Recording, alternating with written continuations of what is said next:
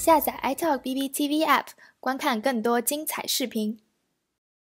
华盛顿时间九月二十九号晚间，美国第五十九届总统选举第一次候选人辩论在位于俄亥俄州的克利夫兰医学中心成功举办。唐纳德·特朗普与乔·拜登作为共和党和民主党最后委派出的总统候选人，本应是万里挑一，结果没想到。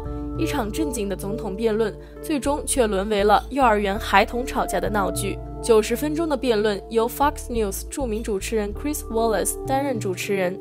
本计划从最高法院大法官之争、新冠病毒、美国经济、城市中的种族和暴力、气候变化以及选举公正性这六个方面进行深入的讨论。结果没成想，辩论一开始便直接拐上了弯道，头都不回地跑偏了下去。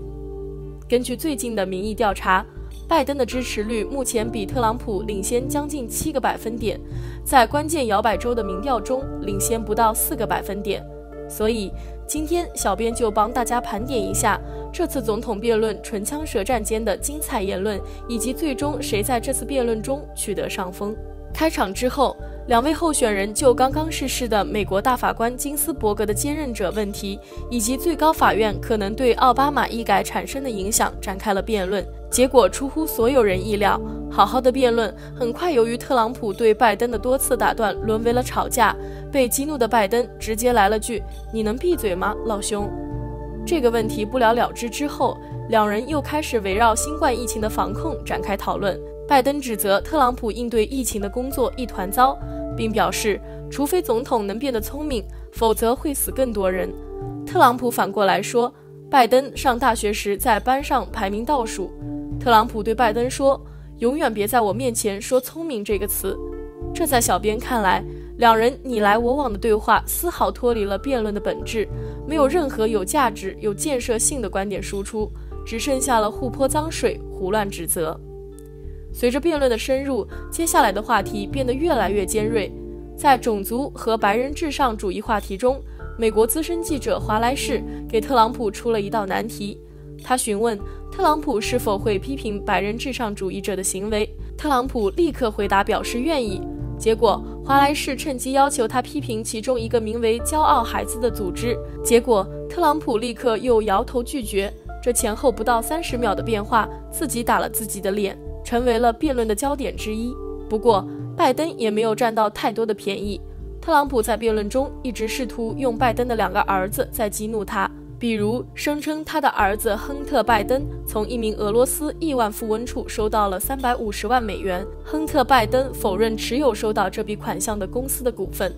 当拜登提到他已故的儿子博·拜登时，特朗普又将话题转回到亨特身上。因癌症去世的博拜登生前曾为军方效力多年。据报道，特朗普曾称战死的美国士兵为失败者，拜登对此予以谴责。他对特朗普表示，他厌恶这种侮辱。我的儿子曾在伊拉克作战，他不是失败者，他是个爱国者。那些战死的人是英雄。就这样，一场全美国都在关注的政治春晚，在你一言我一语的争吵中草草收场。可能所有人都没想到会是这样的情景。ABC 记者在辩论结束时称，这毫无疑问是一场失败且混乱的辩论。尽管如此，我们还是要硬着头皮来分析一下这场辩论到底是谁赢了。小编先亮自己的观点，在小编看来，这场辩论没有赢家，但是有一个最大的输家，那就是美国。